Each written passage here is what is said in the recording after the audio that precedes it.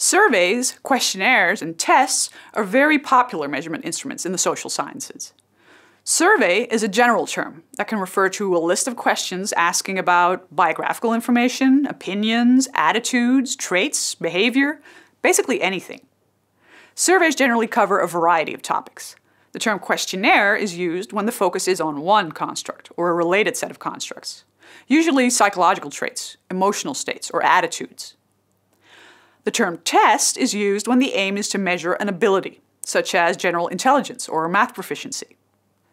Surveys, questionnaires, and tests should always include a clear instruction. For example, for a math test, it's important to know whether you should choose the right answer or the best answer, and to how many decimals numerical answers should be rounded. The instruction can also provide a cover story. This will prevent participants from trying to guess the purpose of the study possibly distorting their responses. Surveys can be administered by an interviewer who visits respondents, goes through the questions, and records their, the answers. This is very expensive though, so a more common method is to use self-report. This means people read and respond to the questions by themselves. The survey can be completed using paper and pencil, but of course the use of online applications is becoming much more common. Online administration is easier for the respondent. No need to visit the post office, you can complete the survey in your own time, and help buttons and pop-up comments can provide extra instruction if necessary.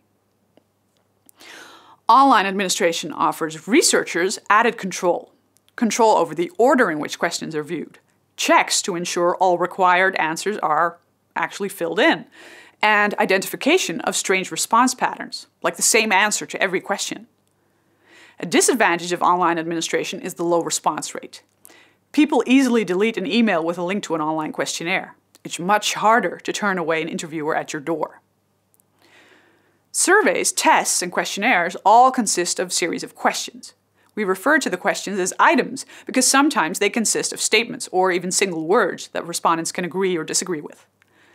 The question, statement, or word that a participant has to respond to is called the stem. The stem is usually accompanied by a set of discrete response options, or a continuous range of, to choose from. A psychological attitude, trait, or state is almost always measured with items that describe feelings, thoughts, or behavior that represent the relevant property. Usually, several items are used to measure the same construct. By using more than one item, random errors will generally cancel out. Using several items also allows us to assess reliability by checking the internal consistency of the items. Suppose I want to measure fondness of cats with the following five items. Petting a cat is enjoyable. I hate it when a cat jumps on my lap. When near a cat, I'm afraid to get scratched. I frequently look at cat videos on the internet. 20 years from now, I can see myself having a cat. People can choose from three answer options disagree, neutral, or agree, scored 1, 2, and 3. Items that are supposed to measure the same construct, or the same aspect of a construct, form a scale. When the items that form a scale are added together, we get a sum score that indicates a person's value on the property. Of course, in our example, agreement with some items indicates high cat fondness, while agreement with others indicates low cat fondness. The items that are negatively worded, items 2 and 3, need to be recoded. Disagreement should be coded as 3 and agreement as 1. After recoding, adding the item scores results in a possible scale score between 5 and 15. A higher sum score means someone is more of a cat person. Questionnaires frequently measure different aspects or dimensions of a psychological property by using subscales. Different sets of items tap into different aspects or maybe even different but related constructs altogether. For example, if I'm interested in measuring your academic motivation, I can distinguish between intrinsic motivation, extrinsic motivation, and fear of failure.